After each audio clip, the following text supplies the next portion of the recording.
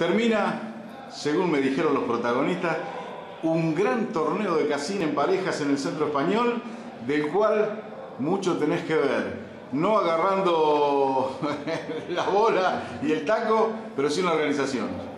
Bueno, así es, Carly. La verdad que hemos decidido este año poder hacer un calendario, el cual esperamos poder respetar de acá en adelante, donde se han de alguna manera normalizado la, forma en que se va a jugar y bueno, va a ser de la siguiente manera, a principio de año se juega el primer torneo selectivo que clasifica a tres jugadores para la gran final que se hace en el mes de diciembre. En el medio se juega este torneo por pareja, que es un torneo que llamamos eh, de integración y de amistad, donde queremos que eh, los grandes jugadores jueguen con los que menos saben y así mezclarnos un poco. Y bueno, y esto es lo que ha sido esta, esta semana y este fin. Agradecer a los muchachos, con mucha seriedad se ha jugado, con, si se puede decir, mucho profesionalismo, poniendo todas las ganas, nadie quería perder un tanto. Así que de mi parte felicito a todos y en especial a Arturo Ponce de León y a Daniel Esperanza por ser los flamantes campeones de este torneo. Daniel, ¿cuántas parejas participaron?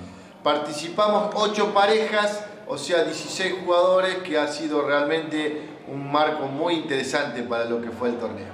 Bien, y ahora se viene un torneo individual.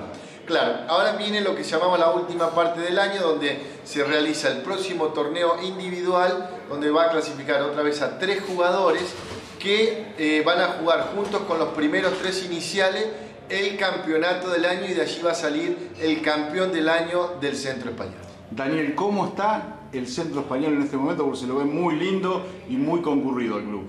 Mirá, gracias a Dios, este, es un club de amigos donde hemos podido, a través de estos eventos y otros, lograr que la gente venga y pase un buen rato acá. Porque eso es lo que queremos, ¿eh? Entre la cargada, entre el, bueno, todo lo que se da en un grupo de amigos, este, poder disfrutar del estar juntos. Y bueno, a través de un torneo de casín, como a través de alguna peña, el Centro Español está siempre presente y vigente en lo que es Villa Constitución. Y yo te lo agradezco a vos y a toda la comisión directiva del Centro Español porque gracias a ustedes, mi viejo, con sus 93 años a cuesta, viene y disfruta todos los mediodías con su barra acá en el Centro Español.